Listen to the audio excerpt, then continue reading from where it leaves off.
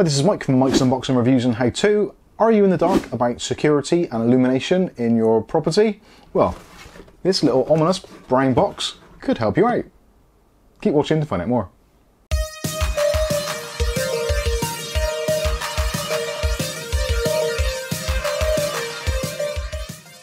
Okay, so in today's video we'll be taking a look at some PIR lights which are of uh, great value. And actually I should give a big shout out to uh, Kath's channel or our sub channel which is ShopSmart which you can find on Facebook. And also we do post on various other media outlets. So if you want to follow it there will be some links in the video description.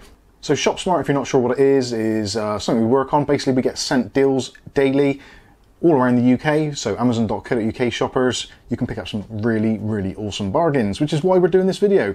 We actually did need some outside PIR lights. They, uh, they generally don't last forever. Weather, water, just time, eventually they do tend to fail. So you don't really want to spend a great deal on them, but also you don't want to go overly cheap on them and get some real rubbish which we've uh, we've certainly had in the past. But these are actually really good, and they were actually reduced from I think it's around about thirty-five pounds, which you can still buy them for now, down to something like twelve ninety-nine or something ridiculous like that. So I figured for thirteen pounds, hey, lucky thirteen, we'll be in it to win it. So let's go through, take a look at the actual PIR lights. We'll go through the unboxing process, show you all the features, etc.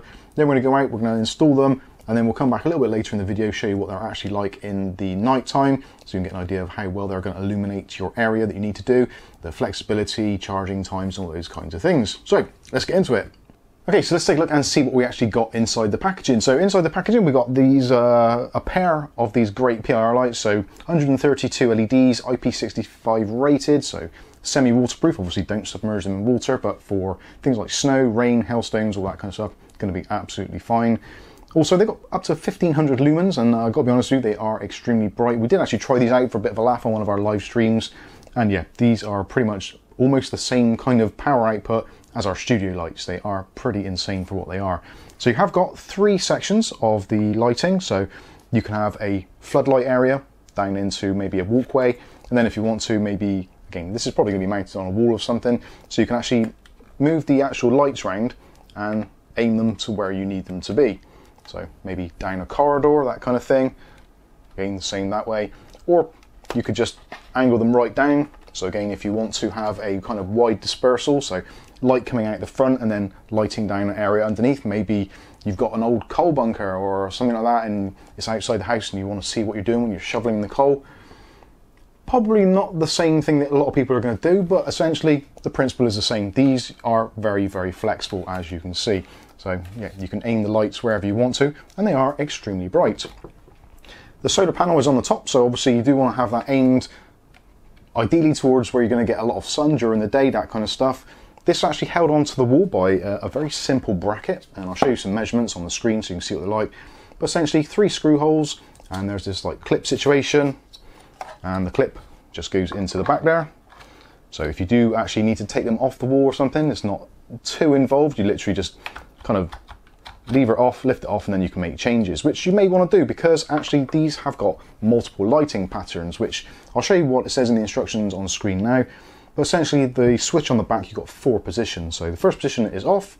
The second position, or the main on one, is basically the lights on, and these are now in PIR mode. So when there is uh, darkness, these only work in darkness. There is actually a sensor on the front there, as you can see. So when it gets dark, they automatically come on and if you've got it in PIR mode, it will only come on if someone passes through the beam from the PIR light. So as per usual, you walk past a section and they will come on. They stay on for about 30 seconds, which should be enough for most people to kind of just walk to wherever they're getting, find your keys, unlock your door, that kind of thing. The next setting is a, an all night setting. So you just switch it across again. And then when it's darkness, these will come on and they'll be in dim mode all night. So from the moment the sun goes down to when obviously the sensor reaches the dark spot, then these will just come on and they'll be dim all through the night until sunrise. So if you're maybe a workplace or you've got people coming in and out your house all hours of the day, maybe you've got uh, kids and you all work different patterns, etc., etc., then this is going to be handy just to give a bit of illumination, or maybe you've got animals, or maybe you just got security concerns. Maybe you've got an outside camera and it doesn't always pick up the picture as best because in night vision they don't. So having a little bit of extra light might help your camera to be able to see who is actually prowling around in your property. The last mode is very similar again, so this is dim plus PIR. So this will be in dim mode all the time when it's dark, and when someone passes in front of that sensor, they'll come on full brightness, which uh, will be a deterrent for most thieves and would-be prowlers, and possibly even things like foxes, badgers, etc. in your garden. I know for sure uh, in our local neighbourhood we've got tons of foxes, so a light coming on in the night generally will tend to scare them off and stop them from uh, doing what they do in your garden. So that is the lights itself. Battery wise, I'll put some specs on the screen now, and actually I better read them off here so I get it accurate. The battery, from what I can recall, is a 2200 milliampere battery, so that's pretty decent. The solar panel is 5.5 volts, running at 2 watts, and you've got 132 LEDs, as I said. Rated power is 8 watts, and you've got the dimensions there and the net weight, etc. So you can see how big it is, and you can take some measurements and see if it actually fit where you want it to go. But essentially, that is pretty much it. So you get everything you need in the pack. You get the batteries obviously pre-installed in there. You get two mounting brackets, obviously for two lights. You can, if you want, you can buy this as a single pack. So if you don't need two, which maybe you don't, you can just buy one. Those still retail round about the sort of anything between 13 and 25 pounds. Again, if there's any bargains, you'll find them on ShopSmart when they come out. You also get the mounting hardware, so you get four wall plugs and four screws. But essentially, it's pretty straightforward. You've got three holes there, so if you want to, if it's maybe going to possibly a fence post in your garden, which is something which we're probably going to do, then you could, if you want to, maybe even get away with just putting one screw through there, wood screw, straight through into your wooden panel, and that is it. You're pretty much done. There's not a great deal to do. It's very, very simple. I would imagine if I had the screw and the drill in my hand, it would be less than less than a minute to install it. It really is that simple really it's going to be mostly time consuming working out where in your garden is going to be the best place to get sunlight the majority of the time to actually recharge these batteries. Obviously, being in the UK, uh, sunlight is one of those things that we are we're not overly well endowed with. Uh, maybe a couple of weeks of the year, but the rest of the time it's actually like being in a Tupperware bowl. It's very grey and very murky. So be interested to see how well these do. So anyway, that is the uh, the intro. These are the parts you get. Let's get on and install it in the garden. Okay, so we've got our screw mounted, which uh, Kath will show you now, which is up there.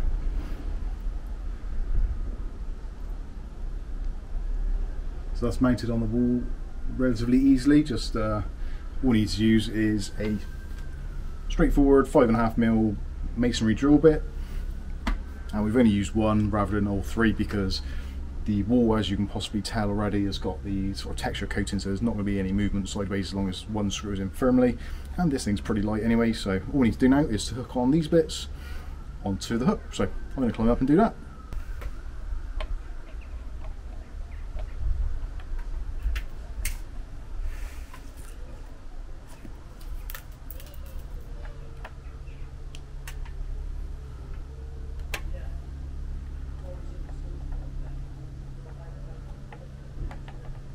There we go. Setting us angled. We'll find out later when we uh, get a little bit of darkness and hopefully we can see what it's like and make any adjustments. Luckily it's just on a twist swivel so should be absolutely fine. So on to the next one. So next one, got our bracket. This one we're going to attach actually to the, uh, the fence post here. Doesn't need to be particularly high so this is going to be absolutely fine.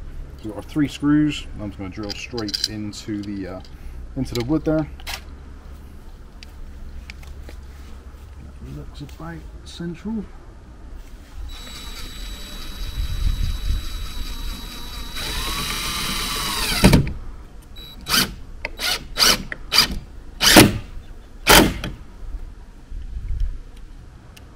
I think actually with that, I think one screw is going to be absolutely fine.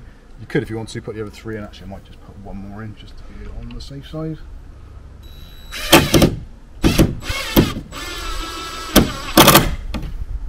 There we go, that's that done. So next thing is to hook this on again, just those hooks there, over the top there.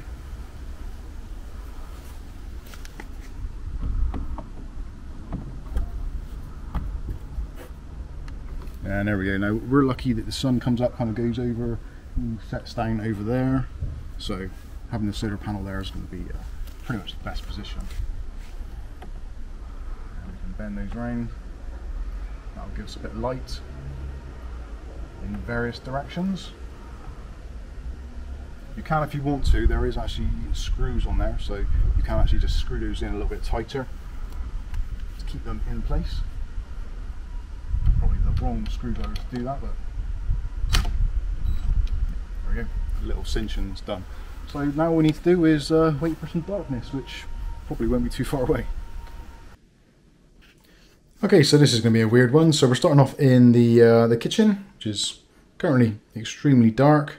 So yeah, let's uh, let's go outside and see how quickly the light gets triggered and how illuminating it is. As you can see, it's getting pretty dark here. This camera actually does a, a pretty good job in low light, well, relatively. And there is the light just up there, so let's move a little bit. And there we go. It's pretty bright. Hopefully you can uh, you can see that pretty good. That has lit up this area pretty darn well. That is actually quite impressive. Even lighting up the neighbours. So we've got the um, the light, as you can see, angled in three directions. So we've got the main light beaming down and we've got the kind of the offset ones as well which uh, actually do provide quite a lot of light. That thing is really bright. It's actually making the uh, the camera go a little bit crazy. So yeah, anyway, you can see it. Uh, it lights up this area absolutely perfectly. Let's just take a walk up through the garden. As you can see, it's uh, getting pretty dark right now.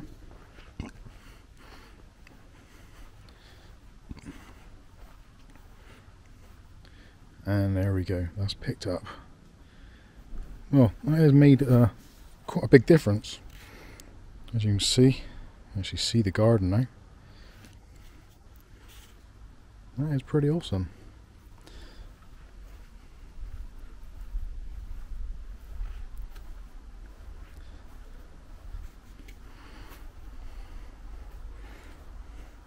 So yeah, it's lit up uh, that section pretty well.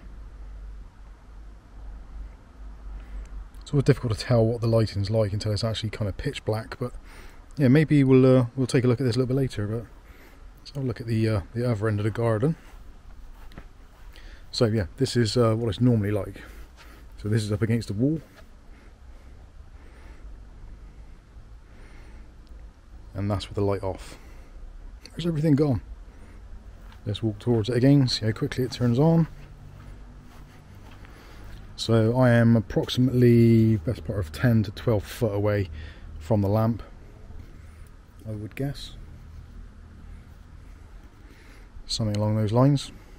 And you can see the one at the other end of the house turned off now, so let's have a walk down here and see the difference it makes.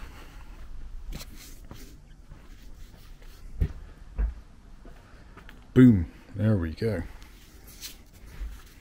It really has lit up that entire area. That is pretty impressive from a battery powered lamp. It is 8 watts so it should look pretty good.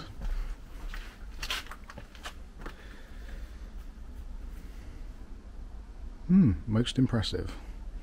And like I it stays on for about 30 seconds. The other one further into the garden now has actually turned off. actually what I could do if I stick this here, hopefully it won't fall over.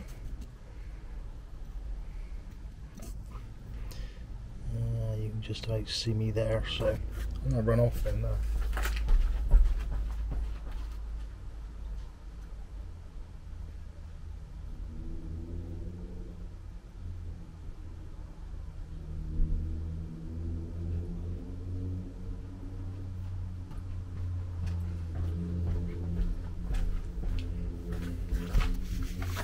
Not sure if you got any of that, but anyway.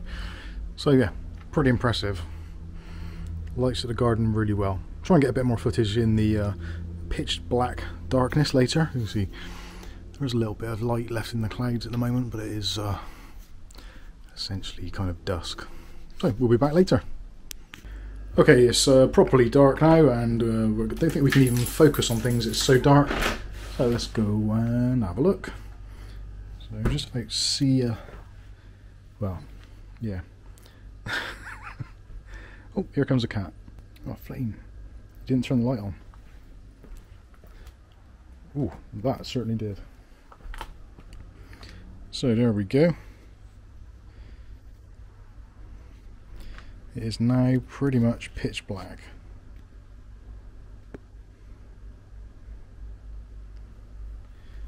And that's actually lit up pretty well.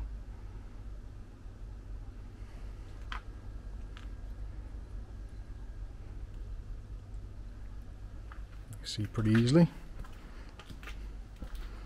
So let's go and see what the other one's like.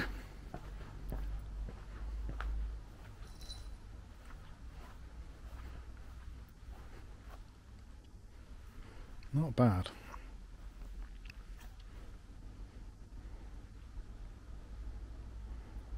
Gives a pretty decent spread actually.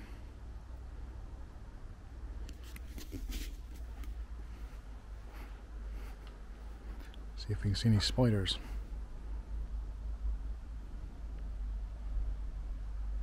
No, none at the moment.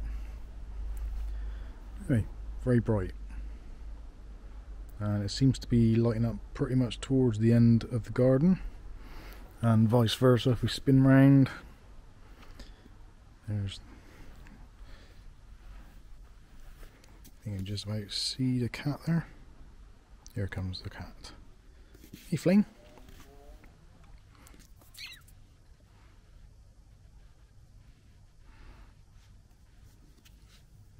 Hello.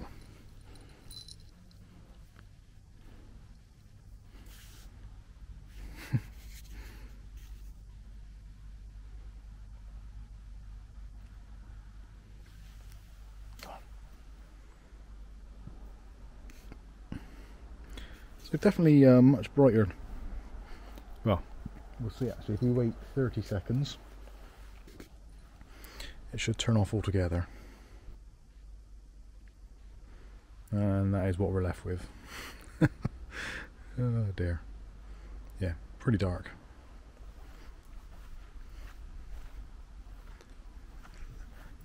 That's better.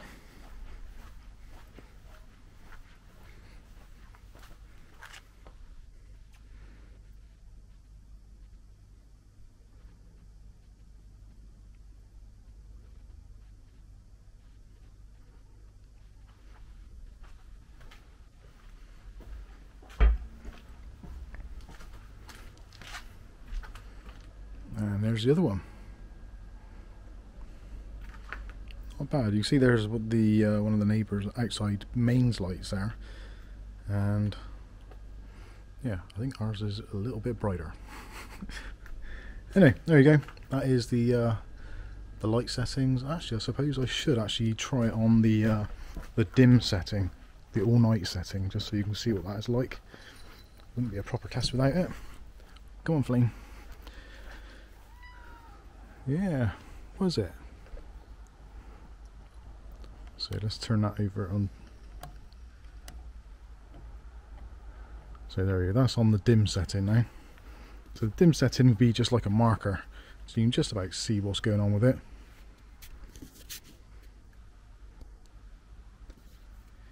But mm, yeah, doesn't really light up a great deal.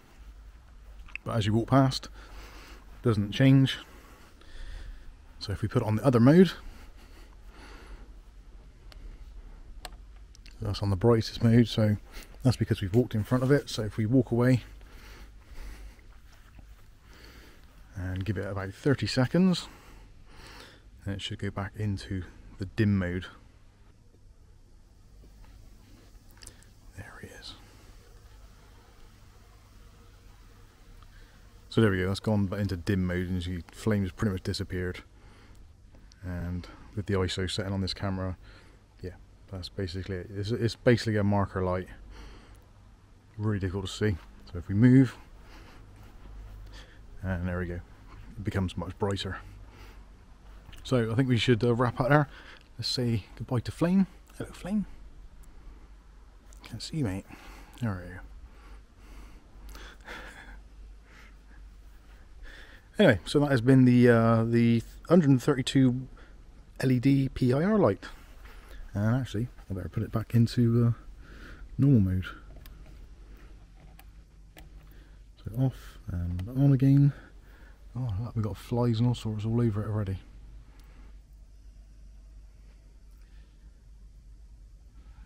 Bad bugs. Anyway, that's enough of that. Let's uh, wrap this up. Okay, so you've seen the uh, the lamp in use outside in the garden. Actually, what do you think? Not too bad at all. Now, obviously, I am using a DJI Pocket 2 camera to record the footage outside, so the lighting may not be the best, and obviously it isn't going to recreate what I saw with my own eyes. It was actually a little bit brighter than you could see from the camera. So yeah, that's on me, user error definitely. But overall, actually, I'm very pleased with these for the price that we paid for them. Definitely a no-brainer. Around about 13, 14 pounds for the pair was absolutely insane. Uh, again, if you want to see more deals like that, then you can head over to ShopSmart on Facebook or maybe watch some of the videos on our YouTube channel also. Again, links will be in the video description. Normal price for these, looking around about the £30, £35, which even at that price actually, for the convenience factor, for the brightness, and yeah, I think they're just actually very good little units.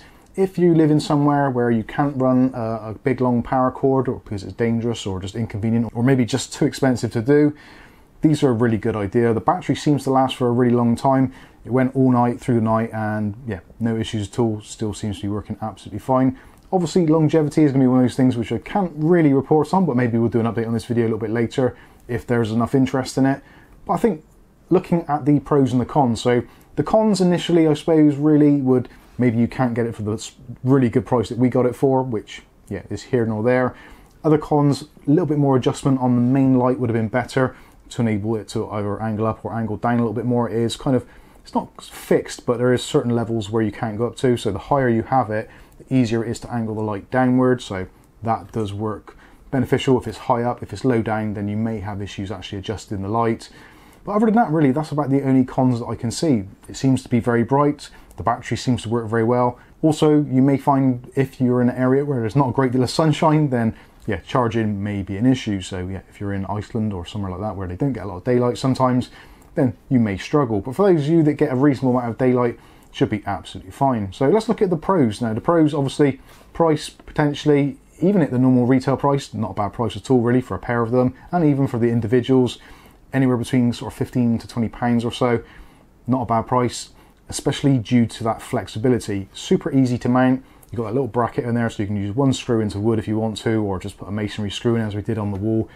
And it just is very, very straightforward and simple to fit. You don't have to worry about electrical wiring, don't have to worry about any kind of dangers with that, someone getting electrocuted if you do it yourself with the DIY cable coming out of a mains cord.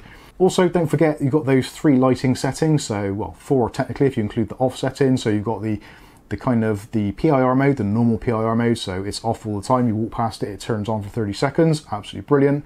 The other mode, obviously the kind of uh, dovetail dual mode, so it just comes on in the low power mode, which would be fine for if you've maybe got a long driveway, have a couple of them up a driveway just as markers so that people can see walking up and down, or maybe if you're coming into the driveway late at night or whatever, walking in, really, really handy. The third mode being the kind of dim mode or low power mode, and then going into PIR sensing mode, and then activating for 30 seconds if something triggers it or walks past.